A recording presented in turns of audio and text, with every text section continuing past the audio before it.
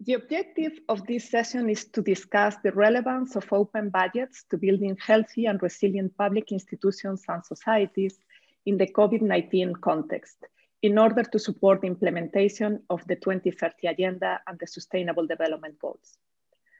The COVID-19 pandemic and the related health, social, and economic crisis highlight the need to accelerate the implementation of the 2030 Agenda, but will also significantly affect our efforts to implement the SDGs. The economic slowdown related to the pandemic will affect the mobilization of revenues and increase expenditures, especially in sectors like health or social protection. This will exacerbate the financial needs for SDG implementation but also stress the importance of spending better the resources that are available. Learning from the 2008 financial crisis, many governments have acted swiftly, but countries will need to maximize and to create fiscal space to fund adequate COVID-19 response and recovery measures and to support SDG implementation. In addition, the vast uh, amounts of resources involved, the increased risks of emergency expenditures, the uncertainty about the time horizon and the implications of the crisis, the technicalities of government responses, and the intricacies of public finance, among other factors, affect public perceptions about government responses. In this context, as highlighted uh, during the SDG moment last week, transparency, participation, and accountability need to be at the center of how we move forward. This is essential to building trust in public institutions and to ensuring that they deliver results that support the implementation of the SDGs. It is important to accelerate action to increase transparency and equal participation in the budget process, establish transparent public procurement frameworks, and strengthen national oversight mechanisms such as supreme audit institutions to assess budget performance.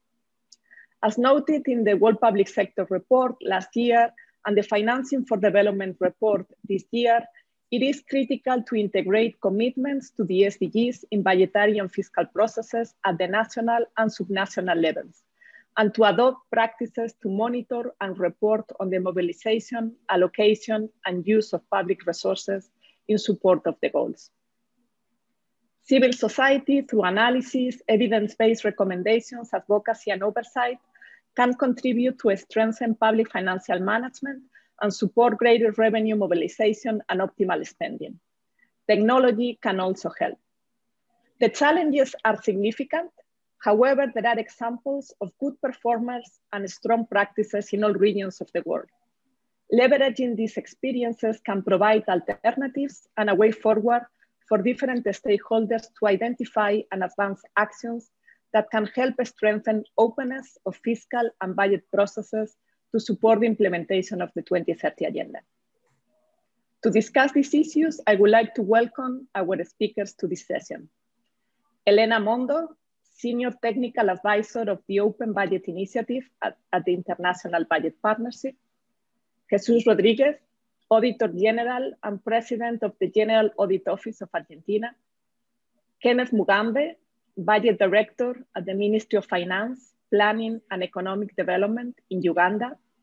Mary Afan, National President of the Small Scale Women Farmers Organization in Nigeria. Katarina Ott, Senior Research Advisor at the Institute of Public Finance in Croatia and member of the Committee of Experts on Public Administration. And Oliver Schwank, Senior Economist at the Financing for Sustainable Development Office at UNDESA. Welcome and thank you for invite, accepting this invitation to participate in the, in the virtual discussion.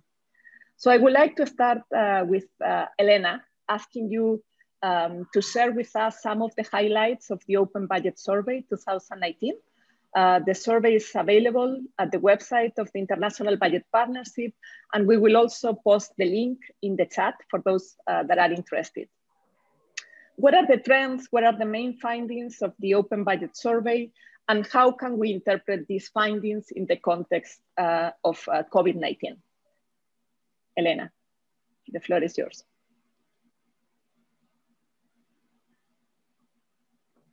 Thank you. I just had to find the unmute button. Uh, and let me also just uh, open up the presentation. Thank you, Arancha. Um, it is a pleasure to be here virtually with all of you, at least. Um, and in my presentation, I will really um, give you a very brief overview of the key findings of the most recent edition of the Open Budget Survey, yes, 2019, that was um, published earlier this year. And then I'll really just try and, and set the stage for, for the panelists' interventions later on by really trying to make the COVID connection. Um, uh, that is, how can we advance open budgeting during time like these, times like these, um, and really how can we make this crisis an opportunity to do better, to progress, and to further um, support the implementation of the 2030 agenda. So um, why are open budgets central to responding to the COVID-19 emergency? I guess I would start by saying that budgets are key at any given time. Budgets are key to the actual implementation of a government stated policies. Um, so budgets without, you know, uh, policies without budgets are, um, are, are, just words. They're not, you know, ventilation uh, um, equipments. They're not unemployment support. They're not, you know, laptops for children that at the moment can't attend school in person and only virtually. So budgets are essential, right? And governments have been responding to the COVID crisis uh, both the health and, and the social and economic consequences of the crisis through unprecedented fiscal policies and decisions. And this is great. This is, uh, this is what it's supposed to be done. Um, but I would say two things. One is that speed might not be always the um, accountability's best friend. And so it's important that accountability is um, in, is maintained, even if these decisions have to be taken in a, in a fairly uh, quick um, um, pace.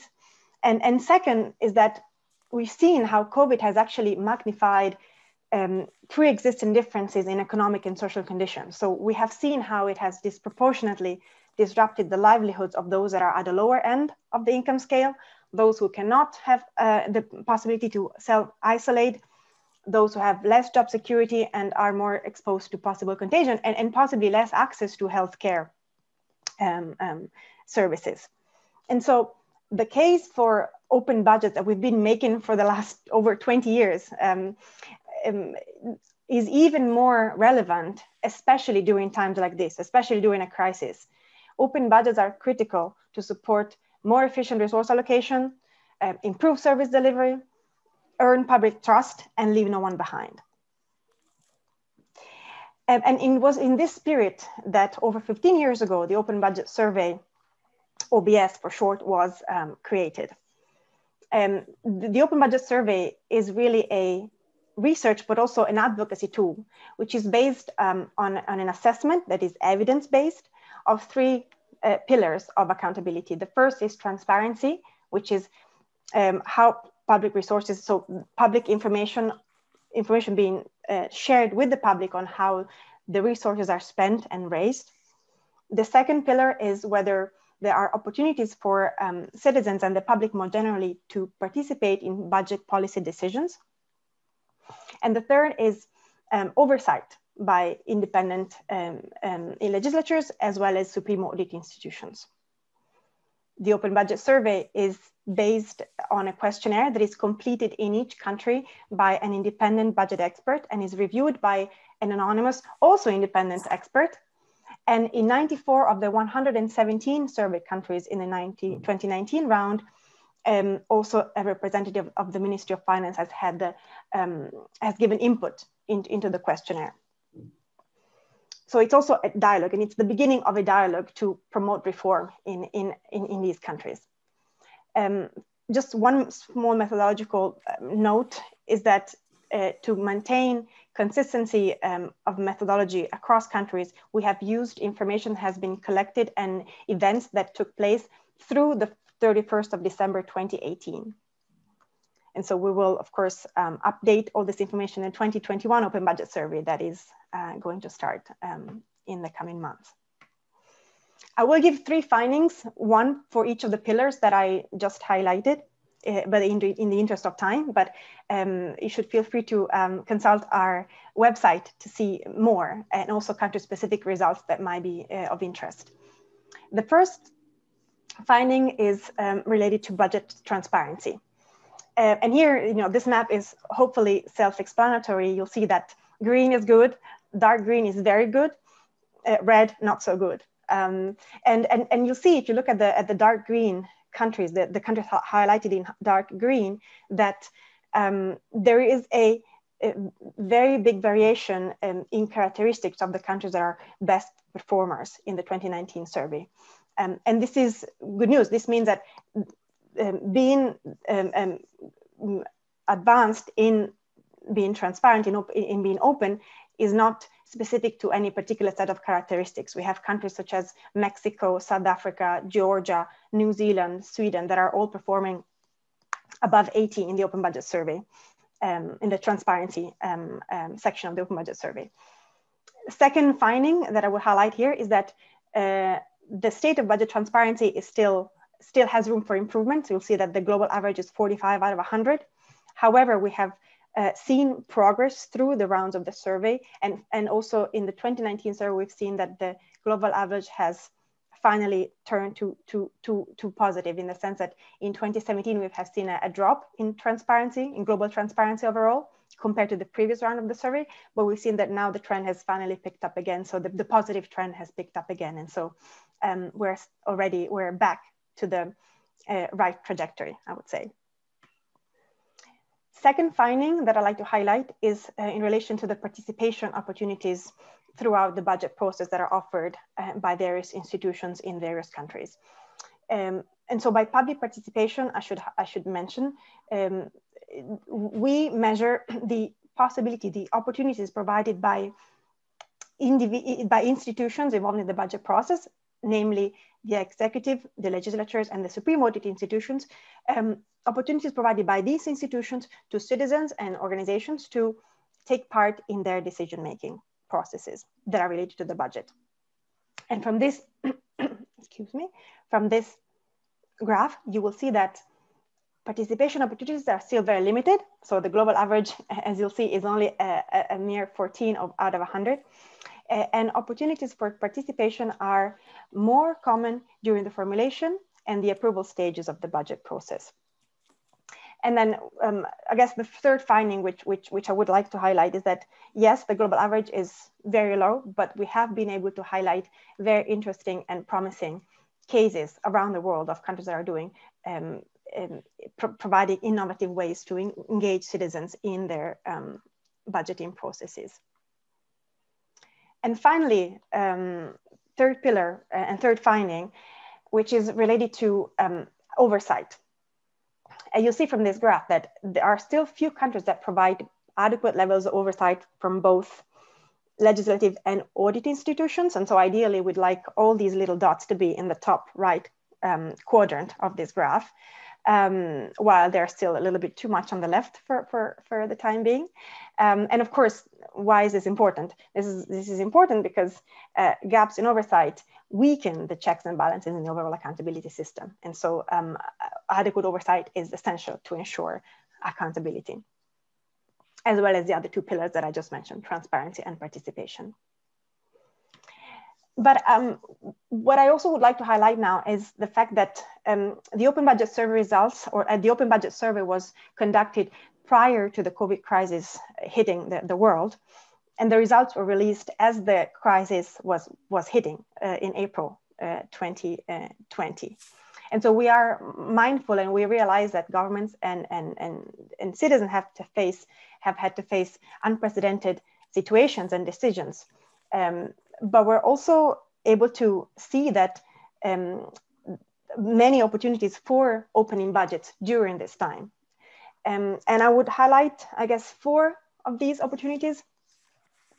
Um, um, the first being that there is international consensus on the need for transparency and oversight, but there's also been support provided to, to, to ensure that even during these times, um, transparency and oversight are um, um, provided. And so, for example, GIFT, the Global Initiative for Fiscal Transparency, which is a network of um, multilaterals, um, governments, and civil society organizations that have uh, come together to provide support on fiscal openness, have, uh, for example, drafted recently drafted a guide to support governments uh, to ensure fiscal openness in their emergency responses. And they're also providing um, trainings and, and other resources um, to, to, to, to, support this agenda.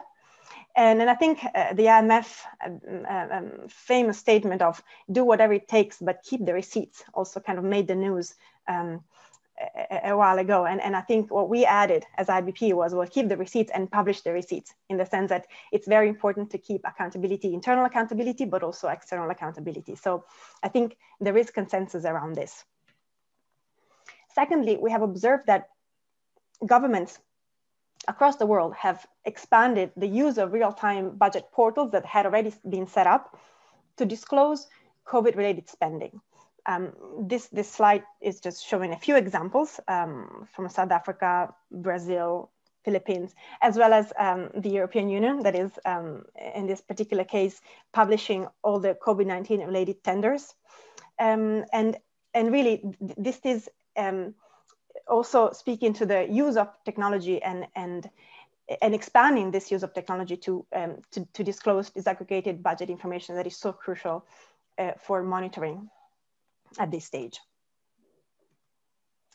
Thirdly, and, and I guess to complement this as well, we have seen um, that civil society has um, engaged, uh, strongly engaged in, in monitoring the government response to, to the COVID emergency uh, by um, using the data, by publishing data, by tracking service delivery, by tracking the COVID response as well and we've seen here again here there's again only a select sample uh, from uh, nigeria um, from colombia uh, from the philippines and from south africa. Um, and and the idea is is really to uh, to be able to not just monitor the government response um, for an accountability purposes but also to potentially support governments in their response, making sure that that that um, information is shared in terms of whether services are uh, reaching those who really need um, those services, and and the policies and the response is effective, as effective as, as it should be. And then finally, and I guess we'll, we'll hear more about this. Um, again, uh, we've said that auditing is an essential element of accountability. And, and so it's very important um, and, and challenging, I guess, but also very important for the audit institutions to, um, to start um, um auditing and, and, and, monitoring these measures as soon as possible.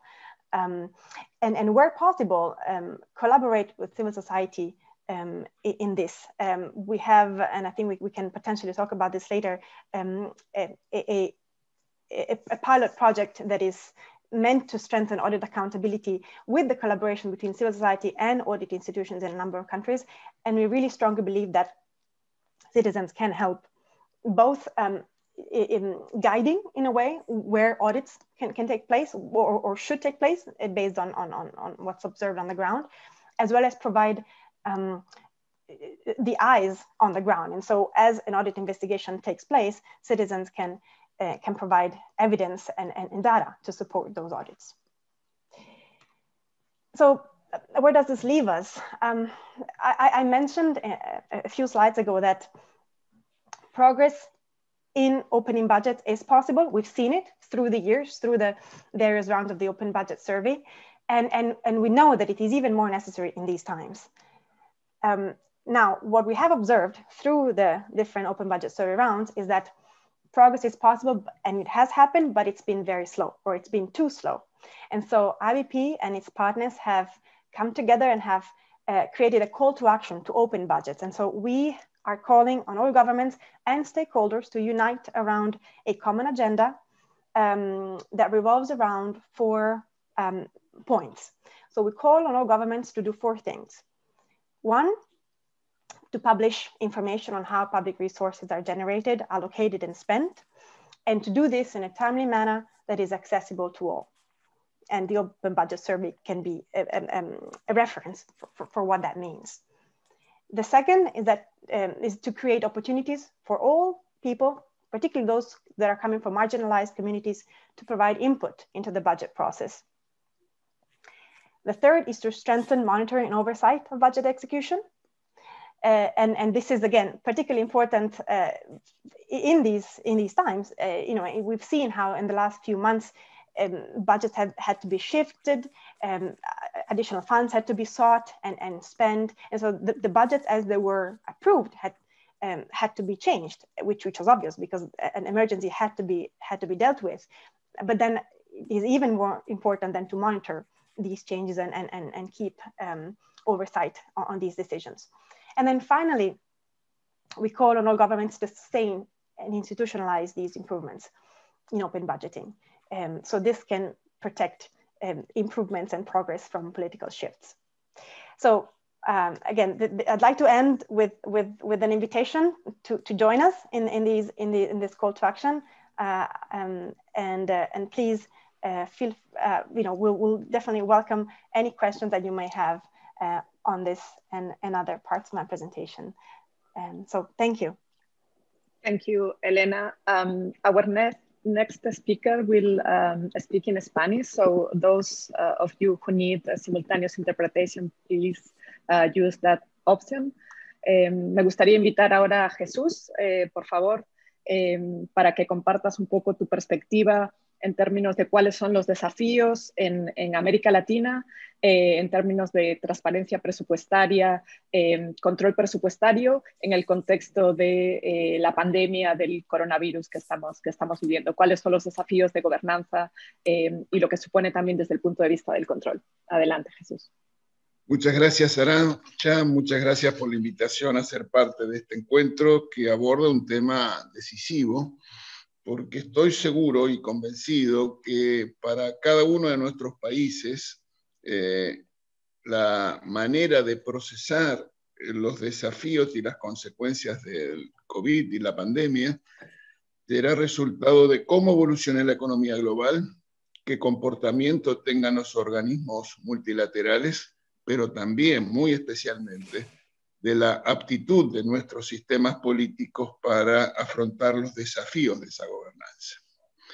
Yo voy a tratar de hacer primero una, traer a la reunión algunos indicadores del impacto que el COVID ha provocado y luego sí tratar de, de señalar los desafíos de la gobernanza en nuestra región de América Latina. Al día de hoy tenemos casi un millón de víctimas que lamentar y casi 32 millones de afectados en el mundo por la pandemia. Podemos discutir de muchas cosas, de cómo quedará la distribución del poder global, qué pasará con la disputa estratégica entre las superpotencias y seguramente habrá más de una opinión. Pero de lo que no hay dos opiniones es que estamos frente a la crisis más dramática en términos de su profundidad y de su dimensión en el último siglo. Déjenme darles algunos números para iluminar esta afirmación.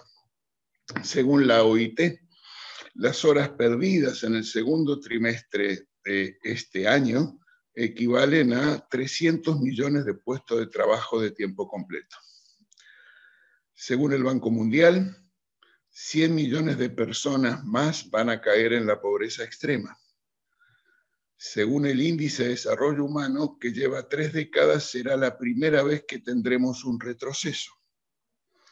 Y la CEPAL, nuestro organismo dependiente de Naciones Unidas en la región, estima que más de dos millones y medio de empresas van a desaparecer, que el Producto Bruto Interno caerá el 10% y que se incrementará el contingente de pobres en 45 millones de personas llegando a más de 220 millones de personas bajo la línea de pobreza. Las respuestas de los gobiernos fueron, como fue señalado, rápidas, importantes. Según un reciente estudio del Fondo Monetario Internacional sobre 55 países, el promedio en relación al producto de la suma del gasto presupuestario y las ayudas financieras es en promedio el 10% del Producto Bruto Interno. Repito, gasto presupuestario más ayudas financieras. Pero como siempre los promedios eh, esconden diferencias importantes. Entre el país que menos asignó y el país que más asignó, la diferencia es de 1 a 100. El menor 0,4% del producto y el más destinó esfuerzo fiscal y monetario 40% del producto y este último fue Alemania. Para nuestra región de América Latina, ese promedio de los siete países que han podido ser identificados es del 8% del Producto Bruto.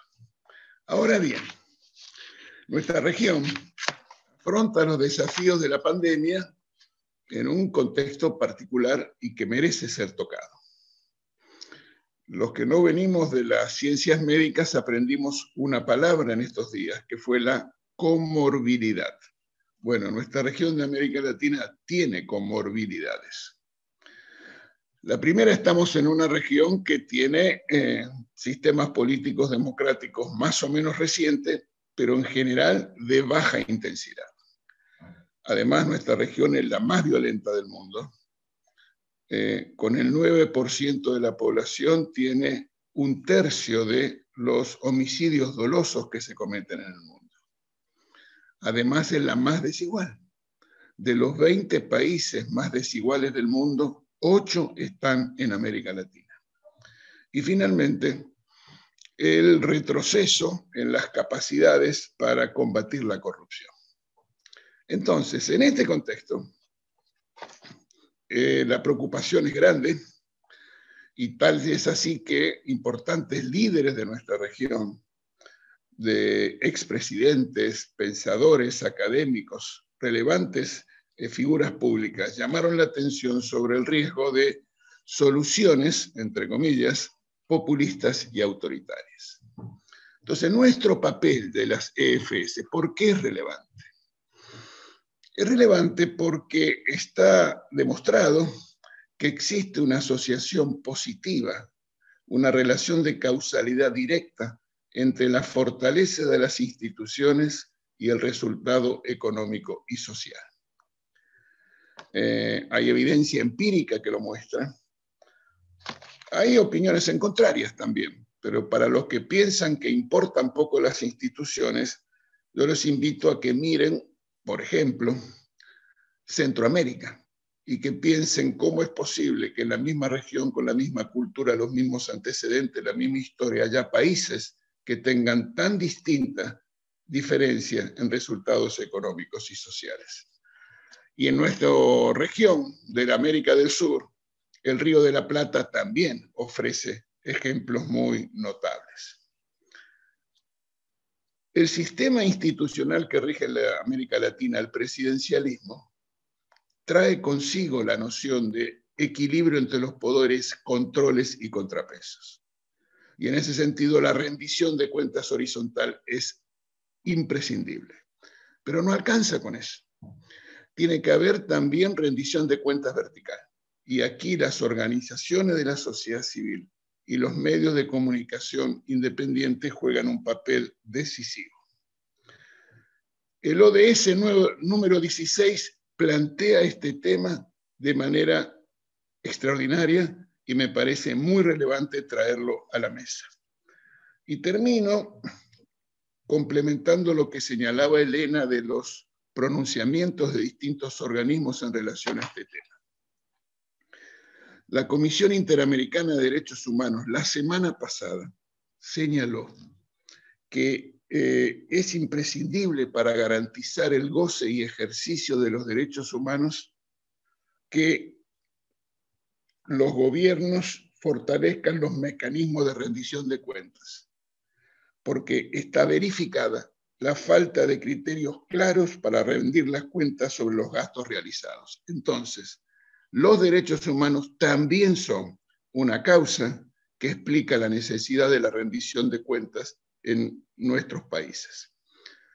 Si hay alguna pregunta posterior, puedo dar cuenta de algunas iniciativas interesantes que en este sentido hubo en las entidades fiscalizadoras superiores de la región e incluso el del propio caso de nuestra Auditoría General de la Nación. Muchas gracias.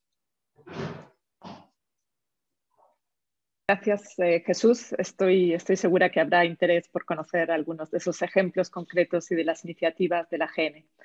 Eh, cambio ahora a inglés. I will turn to English uh, again. So I would like to invite now um, Kenneth uh, Mugambe uh, from Uganda to share uh, his perspective on budget transparency and accountability in Uganda. What are the achievements? What are the challenges? And what is the situation in the current context? Kenneth? Please unmute your microphone.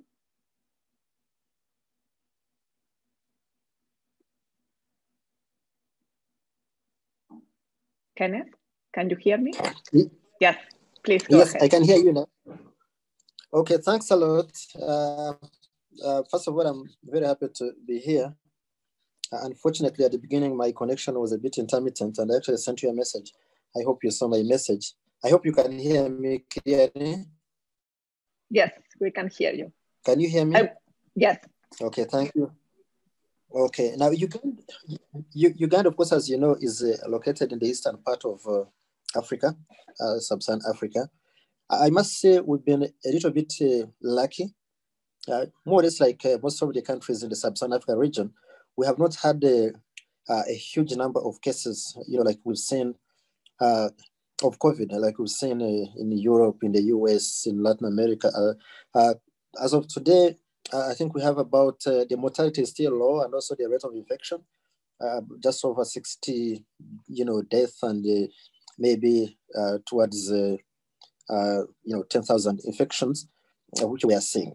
But that aside, the government, right from the beginning, implemented a very critical lockdown measures, which we believe actually helped in terms of uh, minimizing the infection rate.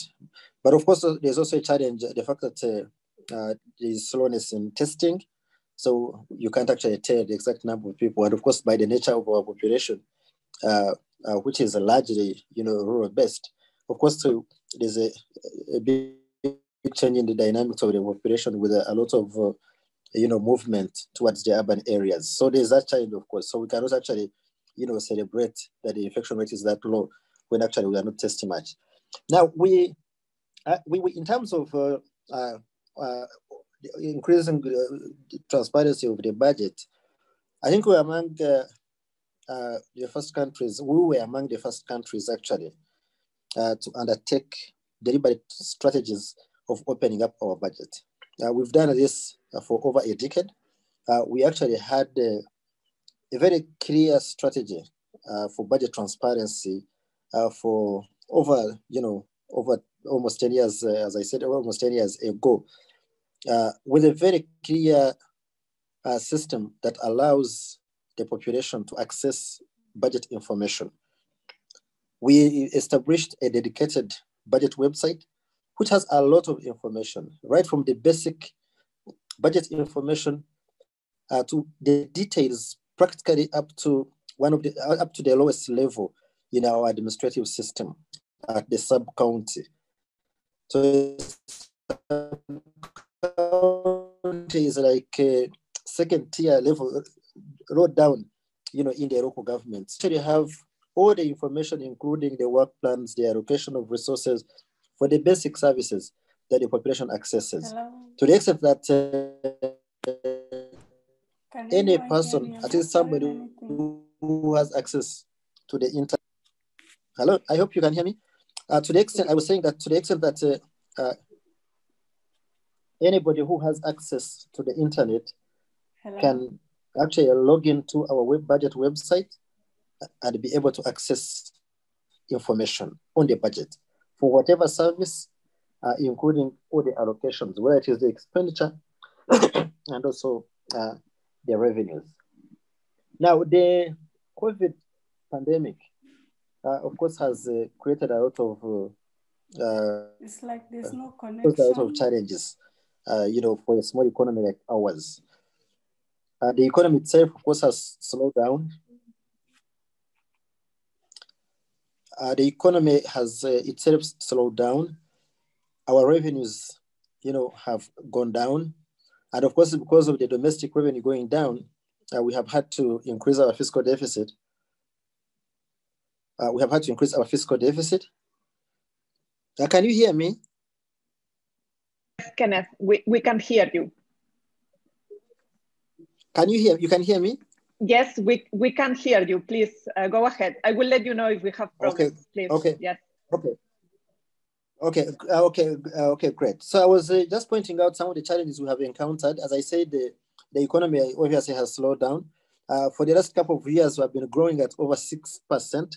Uh, last year, on account of COVID, uh, in the second half of the financial year, largely because of COVID, we grew by 3%. Uh, the revenues have gone down, as I said. And of course, because of that, we have had to resort to external borrowing to the extent that our fiscal deficit, of course, and our debt uh, has, uh, you know, increased.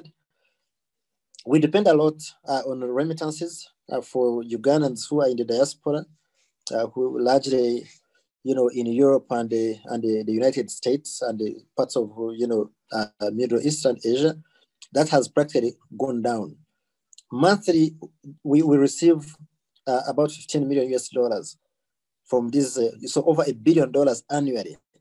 Over a billion dollars, actually close to two billion dollars annually comes as remittances for Ugandans, you know, living abroad. Now, because of the impact of COVID, that has practically dried. In the recent past, we have been depending a lot on tourism uh, uh as one of the big foreign exchange earners. Uh, of course, as you know, uh, because of the lockdown measures, practically there has not been any tourists, of course, coming, moving around anyway. Uh, so that, you know, source of uh, revenue has also gone down. And actually to make it worse, uh, our, it has also had a very big impact on poverty, on the poverty numbers. We have been systematically reducing poverty over the years. At some point in the 90s, our poverty levels were close to 60% of the population. So 60% of the population were living below the poverty line at some point. And we had progressively reduced this number to below 20%. Now, on account of the COVID impact, our projection is that uh, by the end of this year, our poverty levels would have increased to 25% of the population. So a quarter of the population would actually be living below the poverty line. And in, in, in nominal, in absolute numbers, that's about 2 million, additional 2 million people would actually go in. Uh, the impact of COVID has definitely been extremely uh, uh, harsh. So in terms of uh, uh, why, how they, we have used the information, uh, the openness of the budget. number one, because we have been implementing and you know a transparent budget system it has been it has become easy because right from the beginning we engaged the uh, uh, various partners okay uh, to raise you know funding for covid interventions. Uh, government actually set up even a national task force comprised largely of the private sector to be able to raise the resources for covid interventions. Now, because we have been having this, you know, transparent system, I think that was able to send a very strong message to the population that already this information is actually available for the public, you know, in terms of scrutiny, but also in terms of uh, how these resources, you know, are, actually used. So the population is already, because the population is already uh, privy to this information, it has proved very, very crucial uh, in terms of providing that kind of confidence uh, to the population, both in terms of the population themselves contributing to the COVID interventions, but also in terms of uh, following up how the government resources themselves are actually being you know, used. Uh, uh, both in terms of the, the specific interventions the government is undertaking, but also uh, to track, you know, where these resources actually are ending up. So that has been extremely important. And I think that is largely because uh, we have had uh, an open budget system uh, for many years, uh, as I said.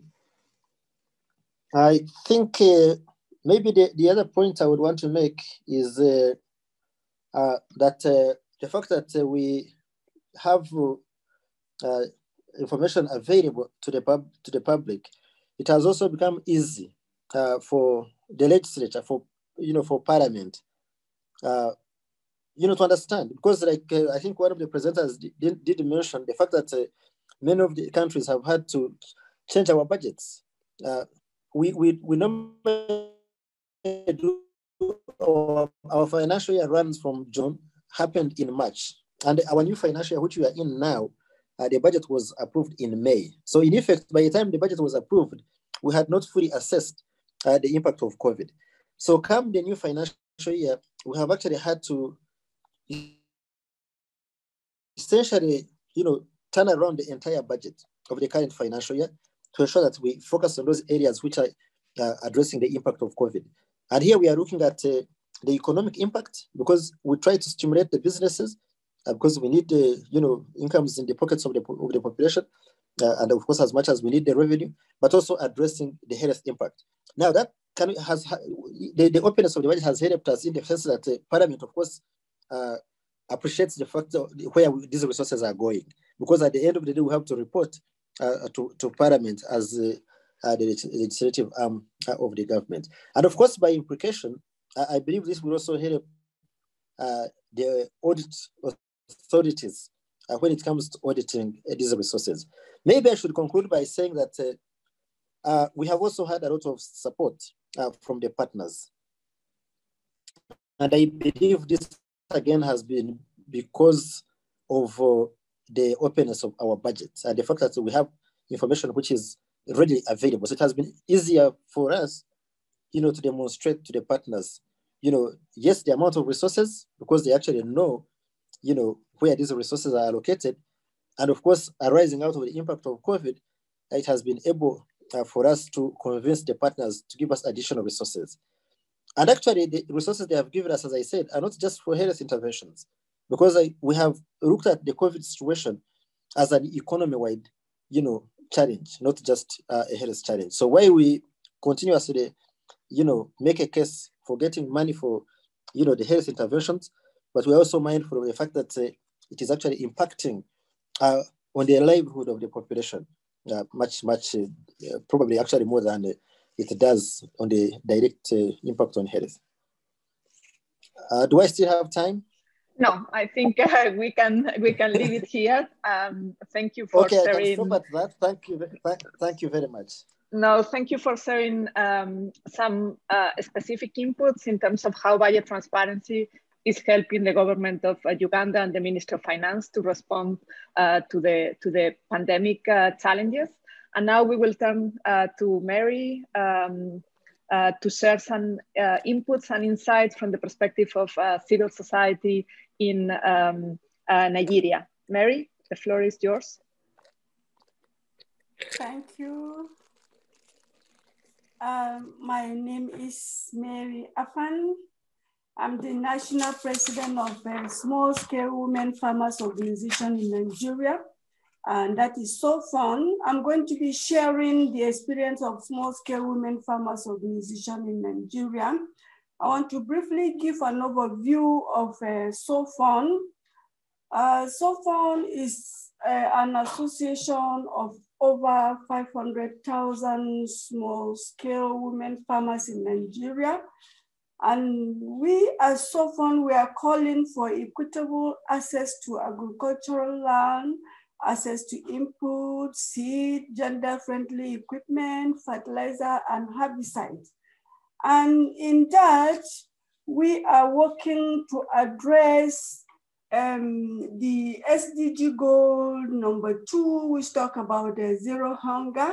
And in fact, if there's zero hunger, we know that actually there's going to be um, good health and uh, well-being, and that is addressing SDG number three.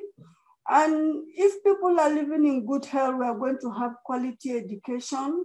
And we're also calling for peace and justice. And also, uh, we're also addressing uh, gender equality and women empowerment.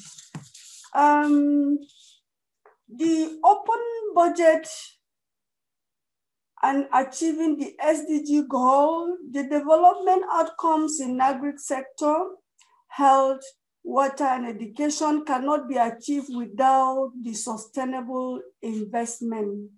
And that is what we have actually been uh, working on, on public finance management.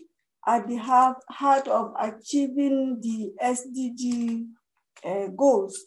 In Nigeria, uh, for the past years, investment uh, to the critical sector has yielded little returns. This is strongly linked to actually weak accountability, transparency, and citizen participation. In the agri sector, for instance, uh, in the decades of public spending in the sector has not improved the life of uh, small holder farmers, especially uh, women. We've not been having access to the agricultural land and vital inputs, and also uh, gender-friendly equipment, which addresses SDG number uh, three, and also uh, SDG number 16.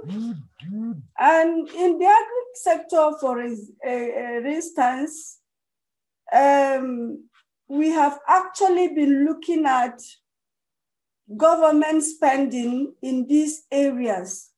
And this has limited productivity and slowed gain made toward achieving the zero hunger by 2030 as specified in the SDG 2.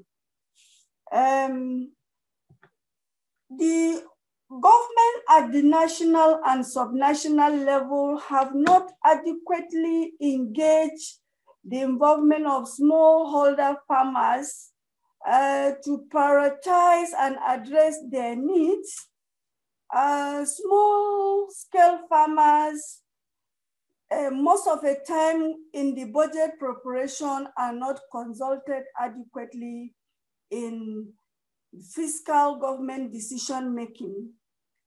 And the space for this sector is actually very limited.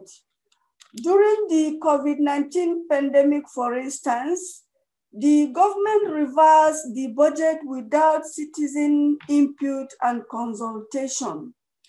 Uh, the 2020 budget was revised between the executive and the legislature, totally excluding the citizen input. We tried as much as possible to make sure that we have a space we actually engage, speak with the government, paid advocacy visit on the need for um, smallholder farmers to actually be part of this revised budget. And we also advise that the budget for other sectors can be reviewed, but that of agri should remain as it is. But actually our comments were not taken into consideration. There was also generally insufficient information and little transparency around the management of critical funds mapped out for emergency response during the pandemic. We expected that at least uh, during the farming season, farmers will be given their own palliative in form of input to be able to go back to the farm and also increase production to feed the mass growing population in the country. Uh, SWOFON believes that it will be difficult to achieve the SDG under these conditions, except government takes effort to listen to citizens and transparent accountability. Now, the role of civil society in strengthening the budget in COVID-19 context, I want to say that um, the COVID-19 forced government to respond differently. In most cases, the space for citizen engagement have further uh, actually reduced weakening accountability effort. While the civil society groups may have little influence over the critical physical decision made unilaterally by the government, they can monitor public spending. We can actually monitor public spending in different sectors. And more especially as uh, SWOFON, we monitor public spending in the agri sector. Uh, it is also the role of the civil society to continue to ask critical questions around government spending and demand accountability. Social accountability tools like social audit, community scorecards can be useful tools in holding government accountable. And that is what we have actually been using, you know, to know what government has been doing at different level tiers of government. Um, in, in going forward, how to strengthen oversight to support the SDG implementation, we're looking at the expert CSOs can actually leverage partnership with grassroots movement like our own movement, which is a grassroots movement and community-based group to monitor government spending within their communities. Uh, if government is saying they have allocated a certain amount of money and this is where the project has taken place, people within the community can be able to provide useful information. And that is what we have been doing within the community to track the government expenditure in the agri sector. And strengthening networking among civil society groups to ensure that budget expenditure tracking is coordinated. Collective action can help build countervailing powers. And if we actually come together and we are doing the same work, it will help to put government on track to be able to make sure that the money released is actually spent for what is released.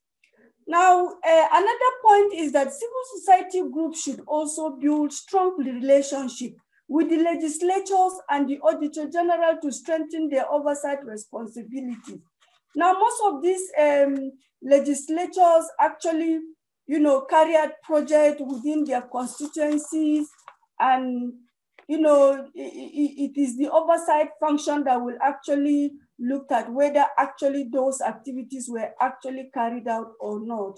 And if this is, if we have a very strong relationship with them, we can be able to give them information of what is actually uh, translated on ground based on what they have uh, voted for. We have also a virtual accountability platform should be explored. This will actually put uh, a lot of things on track. Uh, we look at media to be a very strong tool to amplify voices. Civil society can exploit partnership with the media to amplify accountability initiatives and exert pressure on government. As a platform, SWOFON, we actually engage with, um, we have a women radio in Nigeria, uh, which actually just picked up women issue. And in this women radio, SWOFON have an opportunity of speaking uh, on the issues on the agri sector that affect SWOFON. And we have actually been able to have figures of budget releases, figures of budget for uh, agri sector, and we go on the radio to, you know, to talk to citizens. This is what the government have actually allocated for this activity. So we want individuals, associations, states, local government to actually track this. They can even go to, you know, to the budget office to demand for the budget to actually identify what was actually allocated. And this women radio have helped us to amplify our issues as women farmers. It has actually been a very, very good tool. At the national, we have uh, the KISS FM radio which is also once in a week, they allow women, especially it is a farmers section, where they allow women to come and speak on their issues. And we actually have a very, very good opportunity um, to speak on the issues of uh, women farmers and also to speak on the issues um, that actually affect the smallholder farmers. We speak on the issues of the budget, especially um, the budget for the, the reviewed budget for the pandemic uh, in this 2020, we speak through the media to talk to government on the need of not to slash the budget for the agri sector. as this is the only critical sector that will sustain the country amidst this pandemic. Since the price of oil fall down, we need to strengthen this sector in order for the country to come out of what we have entered. And also, we are also looking at- um, Mary, Mary, sorry yes. to interrupt. Um, if you can uh, wrap up your uh, intervention because we need to uh, give some time for the discussions and then to have some time for questions. Uh, very good. I, I, would love to say that um, uh, actually what we are doing as a, a SWOFON at the national level and the subnational level, uh, we have some adequately engage with farmers to prioritize our needs and women farmers, uh, you know, are actually engaging with government, especially now that the government is planning to prepare the 2021 budget. We are actually engaging to make sure that our issues are actually being captured. Um, uh, there's also a generally insufficient information around the transparency of the budget. Actually, we are trying to see how we can also involve um, working close with the civil society to actually analyze the budget for 2021 and the releases for us to be able to have the accurate figure for us to be able to engage. Thank you very much. Thank you. Thank you, Mary. Um, I would like now to invite our discussants, uh, Katarina and Oliver, to share uh, some inputs. Katarina, um, five minutes uh, to share some inputs uh, in terms of the importance of um, uh, budget transparency to support SDG implementation and also uh, the, the, a better governance of the responses to the pandemic. Uh, okay, uh, government accountability, fiscal budget transparency and public participation are topic I've been researching for ages and now COVID only emphasized these interests. We all know uh, that for governments, pandemic means decreased revenue and increased expenditure, but for citizens, it might mean life or death. Uh, drastic changes in access to health, jobs, education, welfare, security, etc. Governments are undertaking emergency measures which affect efficiency and equity of both revenue and expenditure, and consequently well-being of citizens, particularly of those marginalized and excluded. Uh, it means that all government decisions, information, and data should be fully transparent to all parts of governments, parliaments, oversight institutions, and general public as only the full disclosure enables control of these measures and of their impact on SDGs. Thanks to GIFT and IBP, Institute of Public Finance, where I'm working, is trying to support Croatian Ministry of Finance efforts to transparently publish the COVID responses and recovery related data. And what we noticed that worked well in Croatia everything is online.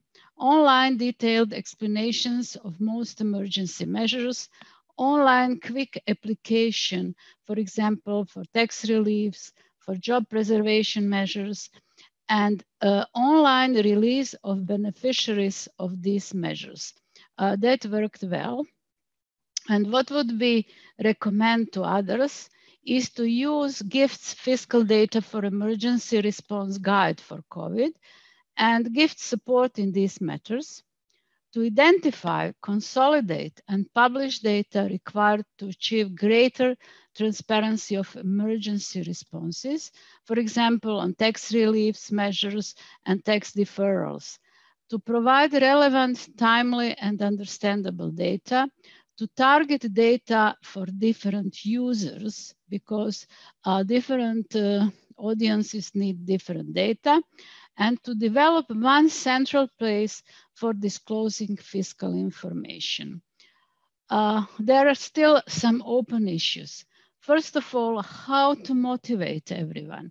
Executive to be more transparent even in normal times, and now particularly, members of parliaments to more actively participate in budget processes, particularly to act upon SAI reports, media to educate themselves, and citizens to use published data.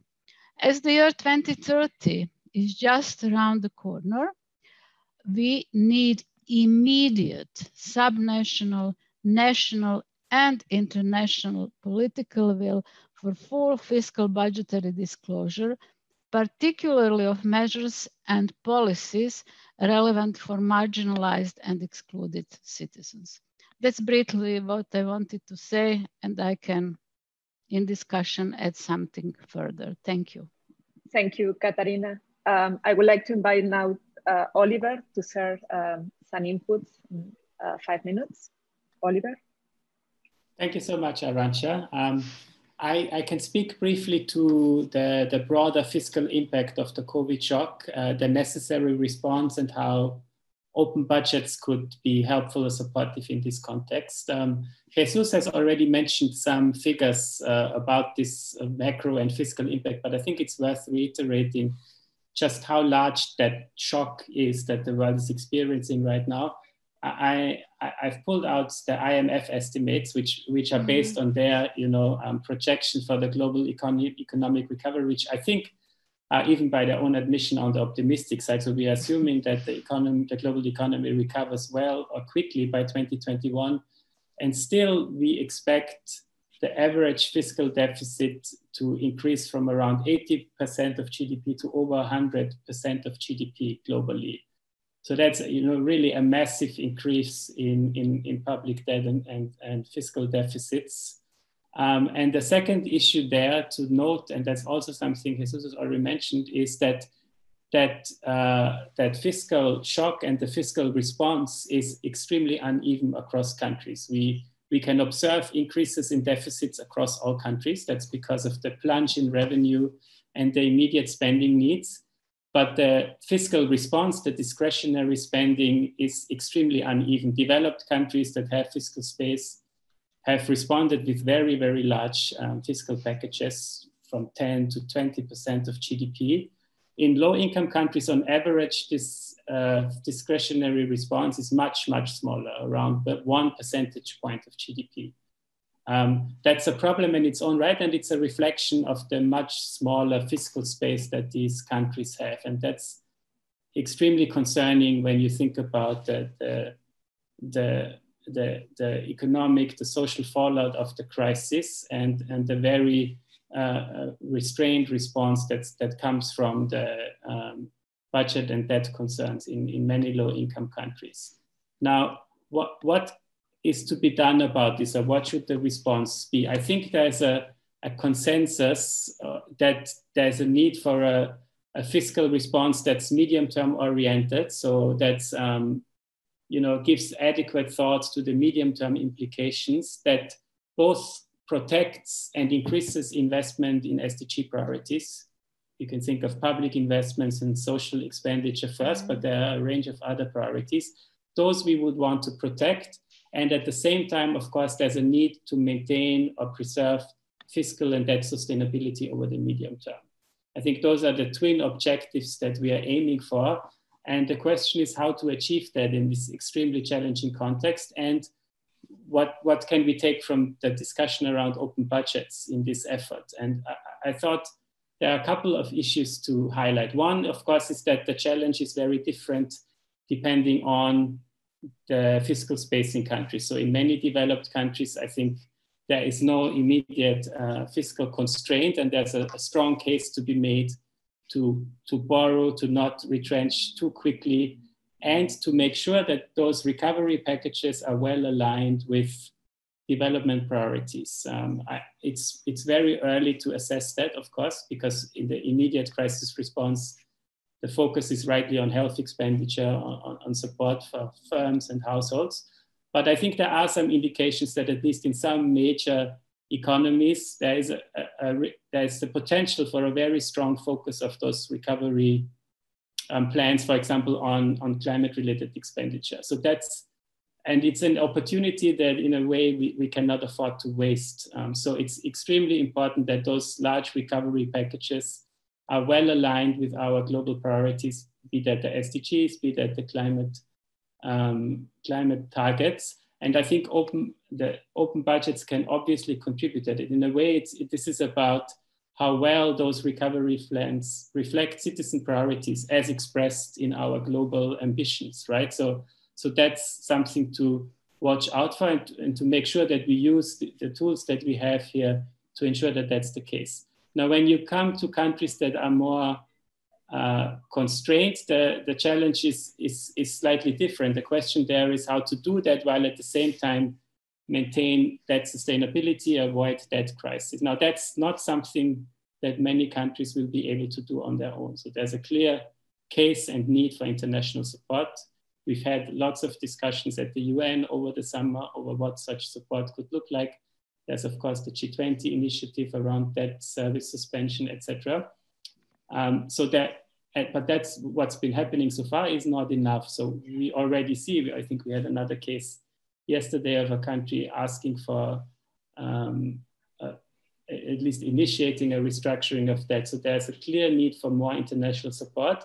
At the same time, at the national level, I think that um, this current crisis has revealed some challenges around, for example, transparency around debt, right? So um, the, the, the, question of transparency around borrowing, more better understanding of existing liabilities, the terms of debt, contingent liabilities, etc.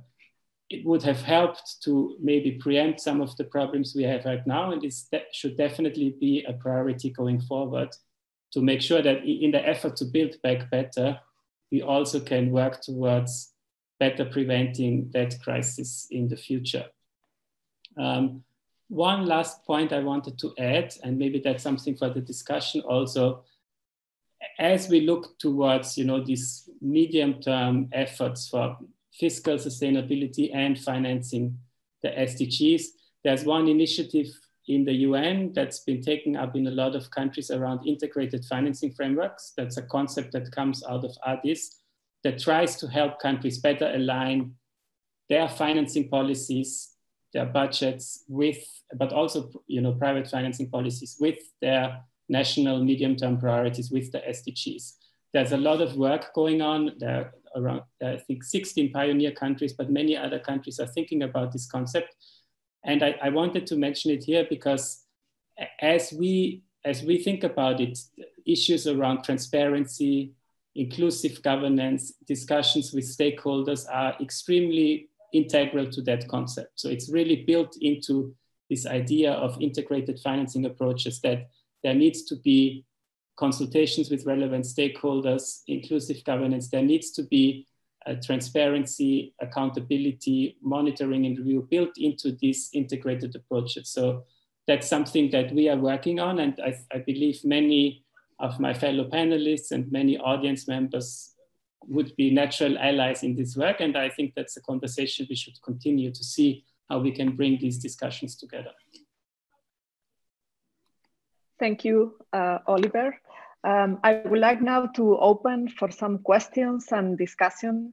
Uh, we have a few questions um, from participants in the chat. There was some specific request for the website that Kenneth mentioned uh, from Uganda. I think that link has already been shared in the in the in the chat box. Um, there was one question which I would like to um, ask uh, both to Jesus and and Elena, uh, based on Elena's presentation, you showed that there is a gap between legislative oversight and um, oversight by supreme audit institutions, that uh, when legislative oversight is strong, not always the supreme audit institution um, is uh, uh, doing a strong oversight and the other way around. So it, there seems to be some gap in terms of both kind of oversight not being aligned or um, uh, in, in the same countries. Uh, so there was some question um, regarding what are the factors uh, that can explain this gap between legislative and audit oversight is it that parliaments do not use the reports, the material produced by Supreme Audit institutions? Um, uh, what are the factors that can explain this, um, this difference between the strength of legislative oversight and uh, the external audit oversight? Uh, Jesús. Sí, eh, gracias, Arancha. Eh, tiene razón, eh, Elena, existe ese y tiene que ver con, me parece a mí, el dispositivo institucional de, nuestra región de América Latina, eh, que es esencialmente presidencialista.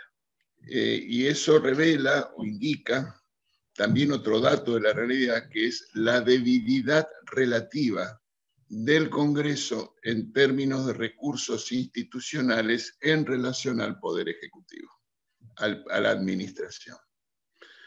Eh, al mismo tiempo, las debilidades del funcionamiento del sistema político en nuestra región de América Latina contribuye a eso.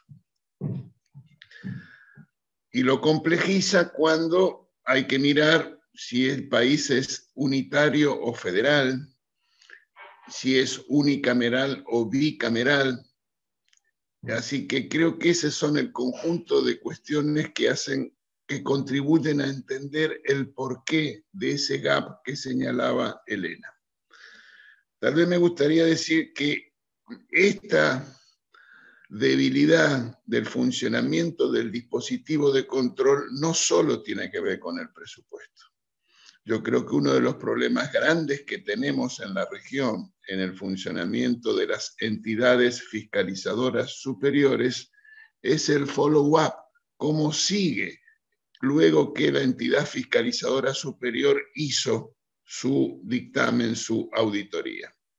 Nosotros en Argentina estamos intentando involucrar a las organizaciones de la sociedad civil para que hagan el seguimiento de las hallazgos, observaciones y recomendaciones que hace la entidad fiscalizadora superior porque tienen condiciones de acceso, básicamente aquellas con intereses temáticos, a hacer el seguimiento, el control del cumplimiento de las recomendaciones.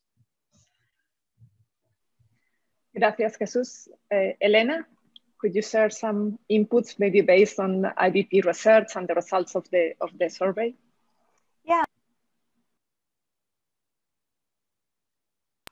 Sorry, I was, yeah. yeah. Um, maybe just uh, what we observed it, we observed it from the indicators that we had in the survey. And I think what um, Jesus said applies also globally. So in, in the sense that in, in, in more cases than not, during the budget execution process, for example, the executive had the freedom to make changes to the budget, to, to budget lines and, and, and making shifts and changes, deal with additional resources without getting parliamentary approval, for example. Uh, or, or when a supplementary budget is you know, drafted, then, then in some cases the process to approve it, the process to, to pass expenditures doesn't have to go through legislative approval first, but they first spend and then get ratification. So so so in that sense um, that that that partially re uh, reflects the, the, the lower score uh, in in legislative oversight um, another could be the fact that the, the, the, discussion in parliament for around the budget process the, the budget proposal is either very short or not happening at all and so the the actual opportunity for the parliament to influence the budget and make decisions around it is, is more limited. Um, so that, that's, that's what we observed, which I think is in line with what um, Jesus mentioned as well. Thank you, um, Elena. I would like now to uh, maybe uh, for both uh, Katarina and, and Oliver, uh, we have seen uh, based on the results uh, presented by Elena and also Oliver referred to this and, and Katarina, that there are challenges still in terms of budget transparency, although we seem to be kind of regaining momentum after um, a drop in the, in the previous survey. But there are also challenges regarding transparency of debt, as uh, Oliver mentioned. There are uh, challenges in terms also of the participatory mechanisms. Um, so one of the of the of the questions that I think uh, Katarina presented is how to create incentives uh, to increase uh, this transparency and participation in the budget process. Um, so some inputs in terms of how we can create these incentives for different actors to work together. What role can uh, different stakeholders play? Uh, to create these incentives and maybe to consider these issues of transparency and accountability in these medium-term integrated frameworks that Oliver uh, mentioned, uh, maybe based on the experience of some of the countries uh, which are piloting this kind of approach. some inputs, Katarina, Oliver?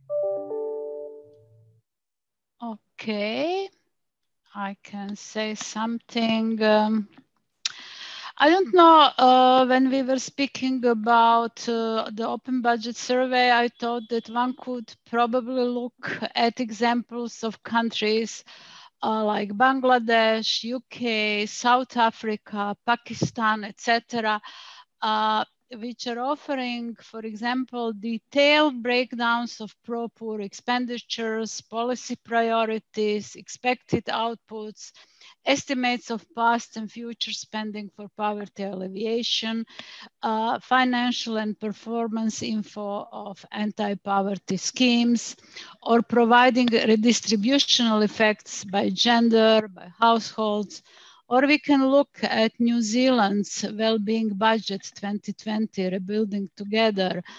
Uh, we at the Institute of Public Finance also could offer numerous suggestions for improving, uh, for example, budget transparency at local government levels, uh, which is really necessary for greater public participation, which might lead to greater uh, government accountability. I think there are so many so many examples around the world how some countries, not always the richest and the biggest, are uh, trying to improve it, that one could look at them. Uh, however, as I always emphasize, uh, what we need most is the political will, international first of all, then national and subnational, to really include all members of society in achieving SDGs. We don't have time now to speak about the problem of uh, migrants, uh, of problems um, on the borders of Europe, etc. Uh, but problems are really huge. And without inclusion and participation of all uh, members of societies, it would be, they would be difficult to solve even without COVID. And with COVID, it's all even worse. Thank you. If I can come in on the yes. on the debt side, so I I think one could think about the two the two main actors in the debt transaction, right? The creditors and the debtors. And I think on both sides there can be Eh, they can there can be incentives to be less than fully transparent and the question is what can one do on both sides? On the data side the one thing that comes to mind is indeed to strengthen overall to strengthen the role of those actors at the national level that do have a genuine interest in more transparency in understanding the long-term obligations and what the long-term impacts of such obligations can be rather than those actors that may have more short-term incentives, you know, to over until the next election cycle. So that would include, of course, parliaments, but other actors as well. And I think generally there's a case to be made to try to strengthen the links between such financing decisions and the long-term objectives. On the creditor side, I think one interesting question indeed is, is thinking about some of the principles that are really widely shared and agreed around what um, sustainable and responsible lending looks like. And th- I think there are very few people who would disagree with some of those principles. So the question really is how do we create stronger incentives for lenders to adhere to those as well? There are some, I mean, the first step would be to monitor those more effectively, right? We have those principles, they are often universally agreed, but they are not very effectively monitored. So creditors that don't um, adhere to them, we, we don't even know, you know, uh, about many of, of them and how well they are, they adhere to these principles. So better monitoring of such principles. But then you can also think of creating financial incentives, right? Debt that is that is provided or credits that are provided without adhering to some of those principles may be considered junior to other um, more, more transparently procured debt. So you could think of building legal incentives, etc., to, to, to disincentivize um, such lending behavior. I think we are quite far from that second step, but at a minimum, I think we should work towards better monitoring um, the, the, transparency of lenders as well. Thank you, Oliver. Um, one question for, for Elena. We have been uh, discussing about the importance of aligning um, the financing frameworks, the budget processes, fiscal measures with long-term objectives. I know that IBP has been doing some research on one of the cases that Katarina mentioned, which is uh, New Zealand. Um, could you maybe share some insights uh, uh, regarding this, uh, this example and, um, and more generally elaborate on the importance of this long-term alignment uh, um, based on, on the research that IBP has done? So um, the, the, the, case that, that Katarina mentioned, or you've, meant, you've been alluding to, is, is the well-being budget in, in New Zealand. Um, I would say that it's probably a bit early to see the results of it because they, they just have done it. So, so but what, what happened was also the process to, to set it up, which, which was interesting and, and participatory. And so what this case highlights is not only the importance of connecting the budget with um, certain indicators around well-being, but it's also around, and, and, therefore having a budget that is better targeting um, the needs of the people. Um, but it's also about the process, which is about how do you get to that, right? So how do you build a budget that is more responsive to uh, to the people and, and, and so the case study that we have highlighted in the, in the uh, survey report, the, the 2019 Open Budget Survey report, highlights also the, the process that this, the government followed to, to collect citizens' priorities and ideas and comments about it. So they had a fairly lengthy and, and, not so easy process to, to collect that input that then fed into the indicators that were part of the well-being budget that, that were then used to draft the well-being budget.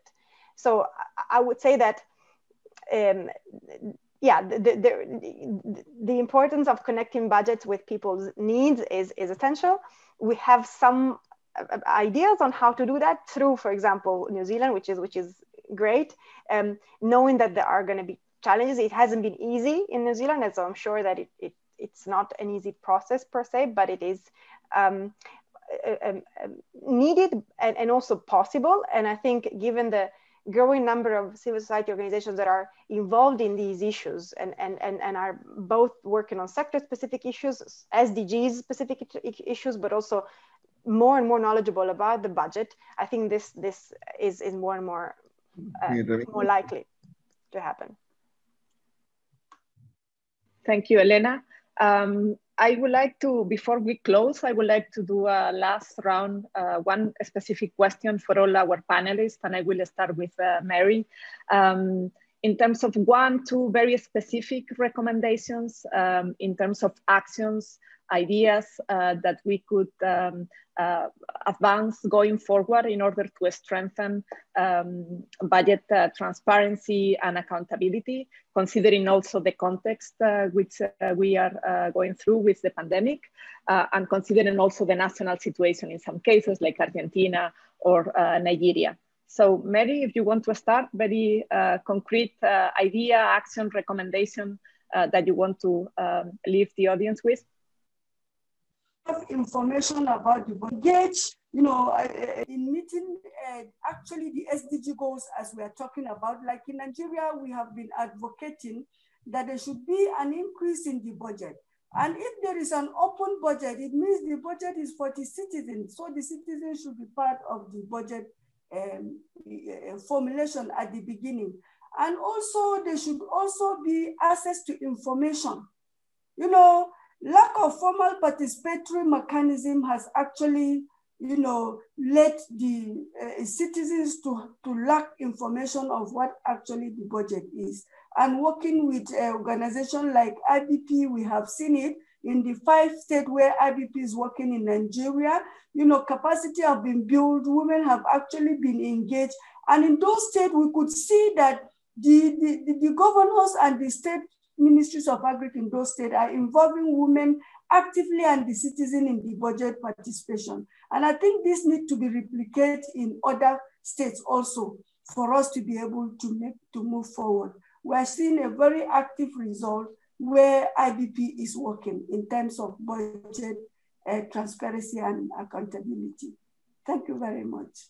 Thank you, uh, Mary. Uh, Jesús, uh, una recomendación, alguna idea, iniciativa, acción específica eh, para, para el, el, el futuro inmediato.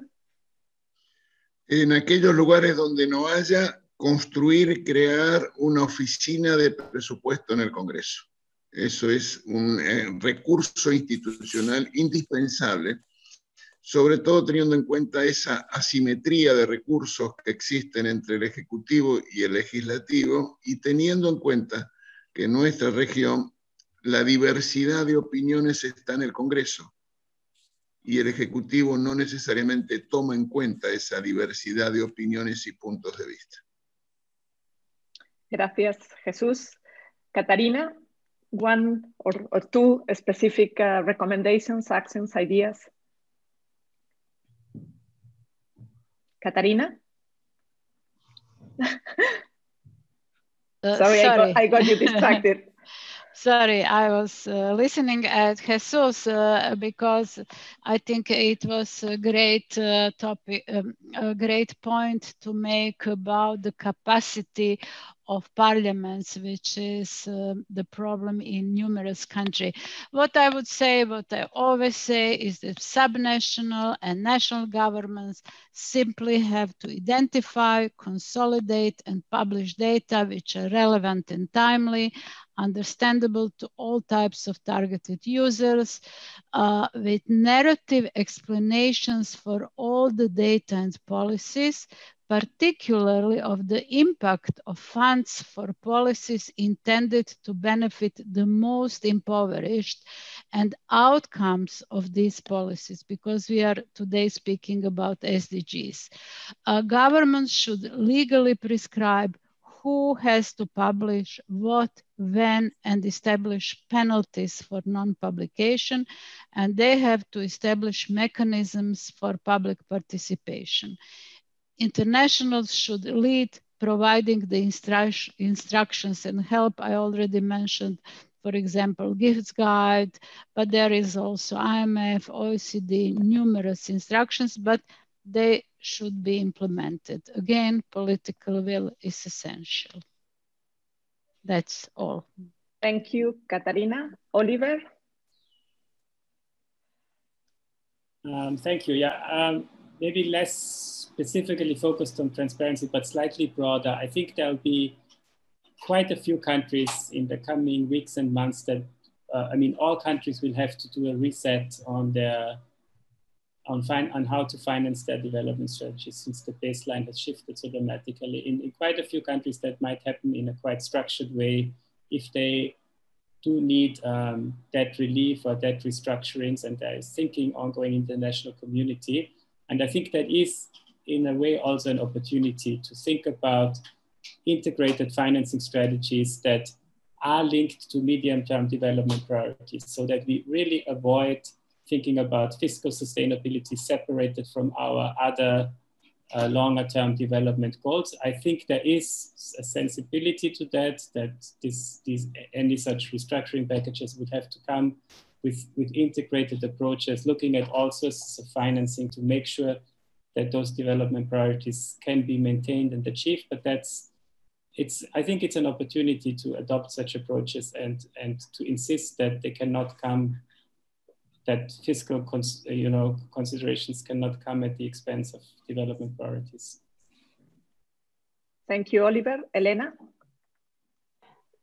A lot of this I would have probably said myself, um, but but uh, to, I guess to summarize, I would say use what's already there in the sense that there are portals there there are websites. So in terms of publishing information let's let's do that. Um, let's do it. Let's publish more disaggregated information because that is most useful. And so using what's already there let's do more. Um, and then and then the other um, would be to listen to one another and this might sound philosophical but the idea is really to you know we know that there are civil society groups that are doing excellent work and useful work, let's make sure that they connect with the governments that uh, are I think, welcoming and in need of, of, of, some extra support, especially in these times. And so uh, let's not reinvent the wheel and use what's already there, resources, websites, as Katarina also mentioned, extra resources. And, and two, connect. Um, let's connect as, as different stakeholders to support one another. Thank you, Elena. Uh, we have lost Kenneth, so that's uh, why I will not ask him for some specific recommendations, but I hope he will be able to share some uh, with, uh, with us.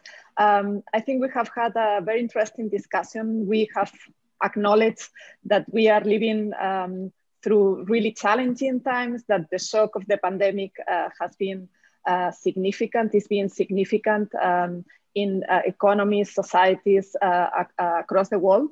Um, the responses, as we have seen, have been very unequal, and we need also tailored measures uh, considering the different capacities, uh, the different time horizons, um, uh, the different realities in different, in different countries.